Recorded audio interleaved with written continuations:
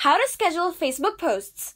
Hi, I'm Grace, and for today's video, I will show you how to schedule Facebook posts. Before we get started, if you're new to our channel, please make sure to hit like and subscribe to be updated for our new releases. And without further ado, let's get into it. Step 1 Business Suite. On your phone, you will need to have the Business Suite app. Once you do, open it and tap the plus sign icon at the bottom middle. Tap Post. Step 2 Schedule Post.